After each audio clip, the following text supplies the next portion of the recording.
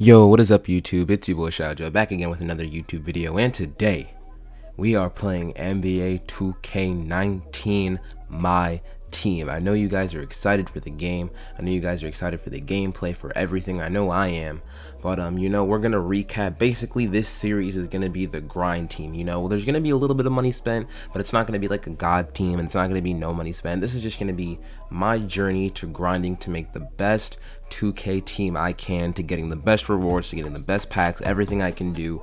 But um, as you can see, obviously, you know, this is the team. I went with the Washington Wizards. Obviously, you know, I'm a Wizards fanboy, John Wall. And um, basically, when I got the game, you know, I started playing Friday at midnight, pre-ordered the, you know, Hall of Fame edition so in a second, we're going to be opening the pre-order bonus packs. As you can see, you get the one weekly pack, and then you get the LeBron, and you get the Giannis. I'm not going to show you guys that, but in my weekly pack, I actually got um, Jrue Holiday, who ended up being my starting point guard for a little bit.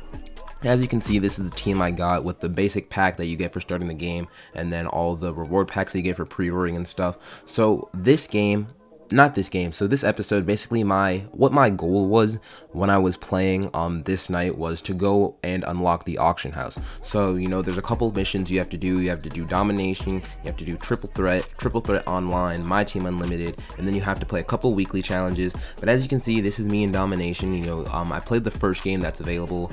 Um so they did it differently this year but you know as you can see i'm playing the utah jazz it was easy. It was a blowout. I mean, there's to be a common thread as you can see in the gameplay. But if you have the LeBron and you have the Giannis, let them go to work and you'll be able to destroy basically any game mode. Um, there's really not a problem. But as you can see, I won. I got the necessary tokens, the necessary points. Um, it really wasn't any struggle. If you're having difficulties, I can drop a video on how to make sure you um get all the points necessary to make sure you beat the teams and get three stars in domination so you can move on in advance. But it really wasn't that hard for me. And I'm going to show you in the player pack you get if you're not familiar with NBA 2K19 My Team. You get a player pack every time you three-star domination team. I got Derrick Favors from the Utah Jazz, so he ended up being my new starting center. But as you can see, I'm going on. I'm trying to make sure that I can complete the challenges in order to unlock the auction house, just so I can see like what cards are going for, what price. Here's the triple threat. This game mode, this like triple threat version is the one where it's offline, where you're playing the offline teams. The rewards in this one aren't as good for the ones where you play online, and you'll see that a little bit later on in the video. But I got matched up with the Brooklyn Nets, so I went up against them and triple threat, and again, no problem at all. Let Giannis, let LeBron do their thing. They finished hard. It wasn't difficult at all. If you guys have these cards, or if you have, you know, good athletic, like bigs, this game, this 2K is very defensive orientated. So on offense, if you have fast, strong, quick players that can muscle down and break down defenses, you're going to be able to do well. But as you can see, I was able to hop in easily beat the CPU. And now we're going to go take it online, take our same three players, Jrue Holiday, Giannis, and LeBron, and go online. And even online, I didn't really have too much trouble. The guy I was playing with was not very good at the game, or maybe I'm just better than him. I'm not sure. I don't want to give myself too many compliments. But um, again, easy competition, easy gameplay. My players did what they had to do. I was able to get my points, get the dubs. It's very important that when you're going to um unlock the auction house, not only do you have to play in these game modes, you actually have to win. So I would recommend that if you need to, maybe use your trial cards. I wouldn't use them offline. I wouldn't ever use them against the CPU because the CPU is actually very easy to beat. And especially a lot of the challenges that you get, you're only playing maybe like two one or possibly three quarters you're not playing like the entire game. So to me like when you get your um so for instance like since i picked the wizards i got the um, free agent john wall. I haven't played a single game with him.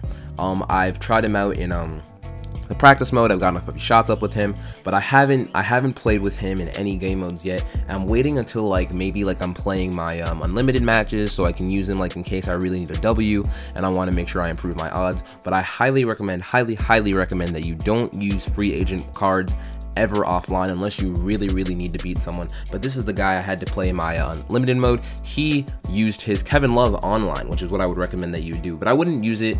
I mean, you can use it now, I guess, but I would wait until you're maybe in like a tougher situation, like if you're high up and you need to make sure you get a W. But the guy I was playing was not very good. I felt bad for him because he used his Kevin Love and he got absolutely blown out. It was actually a pretty severe beating. I took my Giannis and my LeBron and I went to work on his team. He didn't really know how to play defense, so I was able to walk away with the 50 point point W. got a lot more coins, a lot more. I made like 1.5k MT off of this, but again, these games take like 20 minutes. So when you're making MT, when you're playing this game, make sure you know you can sit down, make sure you have the um, right amount of time so you can play these games. But afterwards, this is the first weekly challenge that you actually have to hop into. This game, when you play and you win, you get rewarded with a free Emerald player and a pack. I'm not sure if you're guaranteed, like I don't know if everyone gets the same player or what that deal is, but again, it's kind of hard to lose these, frankly. I ended up winning pretty easily. I mean, you're already up when the game starts and you only have to play like three or so minutes. But like I said, hopped in the game, got some MT, didn't really focus on maximizing my MT. I'll make a video on that, making sure like if you hop into a game, how to make sure you get as much MT as possible.